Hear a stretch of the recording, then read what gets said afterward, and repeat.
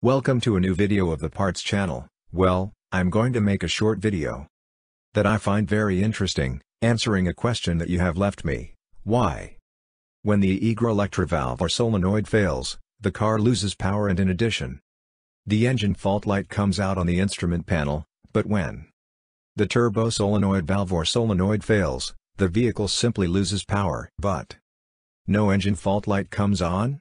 Let's see, this happens in most vehicles.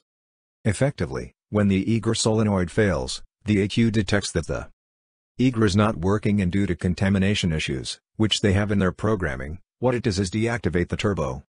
When it stops send electric current to the turbo solenoid valve or solenoid, and you run out of turbo and also that engine failure turns on, so that the problem is solved.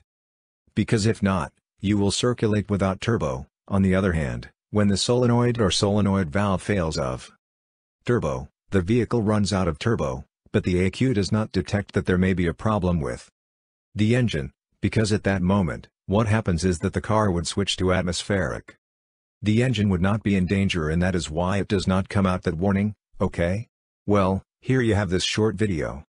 I hope it has been useful to you and if so, don't forget to give it a like and subscribe to the channel.